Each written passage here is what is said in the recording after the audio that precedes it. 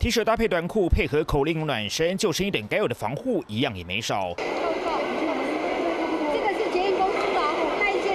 二零二四台北国际龙舟赛周六登场，台北市长蒋万安不缺席，率领市府同仁组队来场友谊赛。今年我们特别还有包括澳洲、荷兰、日本等各国的好手一起参加，总共有两百一十二支队伍，而且今年我们总奖金创历史新高，三百三十三万。近五十年历史的台北国际龙舟赛，今年总奖金史上新高，参赛队伍也来自国内外，其中也包括中国上海组团参与小型龙舟组，预计九号上午登场。市上两岸交流频繁。北市龙舟协会日前组团赴对岸参赛。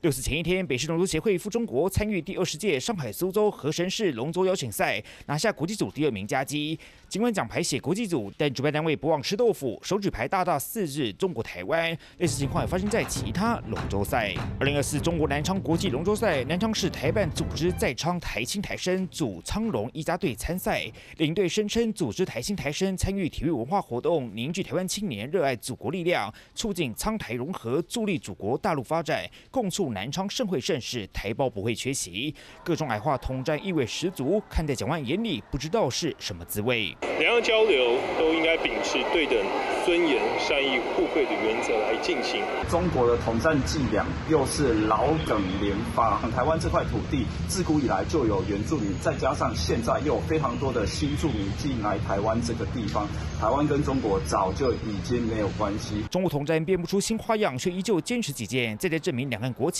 完全不同。三立新闻黄玉凡、杨凯、侯彩虹，S 女小组特别报道。